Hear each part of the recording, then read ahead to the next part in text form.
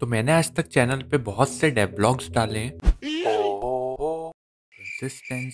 तो आज के वीडियो में एक थ्री आर्ट सीन बनाएँगे मतलब उसके आसपास ही कुछ, और उसको रेंडर करेंगे हमारे सबसे प्यारे सॉफ्टवेयर देखता है क्या? तो थ्री रेंडर बनाने के लिए कुछ इंस्पिरेशन और कुछ रेफरेंस चाहिए था। और मुझे रेफरेंस मिला मेरे एक पुराने रेंडर से, जो कि मैंने करीबन दो साल पहले बनाया था। और मैंने ये रेंडर टकी थ्री के एक ट्यूटोरियल वीडियो को फॉलो करके बनाया था। और मैंने इंस्टाग्राम पे पोस्ट भी करा था। तुम मुझे फॉलो कर सकते हो इंस्टाग्राम पे बाय द वे मतलब मैं बस बोल रहा हूँ।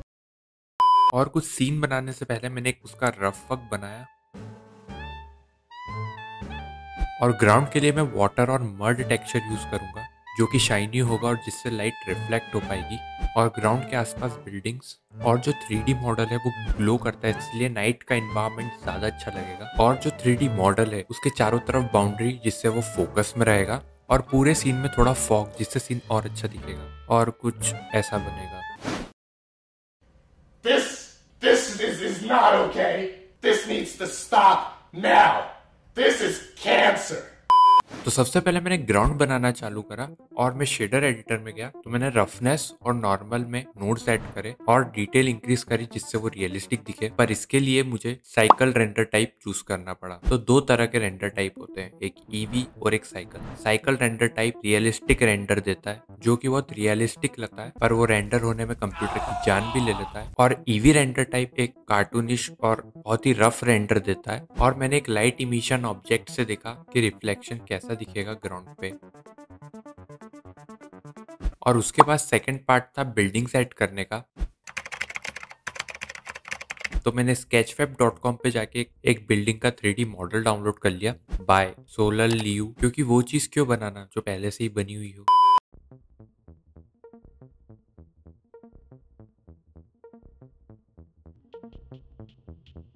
पर अभी भी सीन थोड़ा खाली खाली सा लग रहा था, इसलिए मैंने बिल्डिंग्स के बीच में केबल टावर्स बनाए।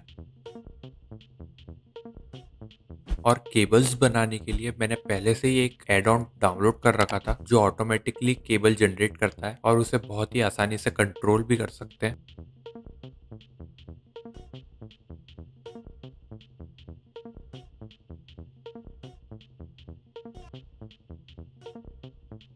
उसके बाद मैंने पहले से ही थ्री मॉडल जो बना हुआ था उसे इम्पोर्ट किया।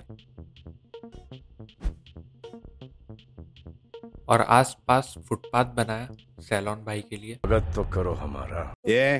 अब मैं बोलता हूँ तेरे को मिल मेरे को कई बार उसके बाद मैंने सीन को एक बड़े से क्यूब में डाला और उसमें वॉल्यूम ऐड करी, जिससे सीन फॉगी लगे। उसके बाद मैंने बाउंड्री पे काम करना चालू करा, पर बाउंड्री इतनी अच्छी नहीं लग रही है वाली। पर लकीली मुझे उसी दिन टक्की थ्री का एक वीडियो दिखा, जिसमें हेयर पार्टिकल सिस्टम का यूज़ करके एक एनिमेशन बनाया था। तो मैंने वो वाला ट्यूटोरियल फॉलो करके बाउंड्री बना ली।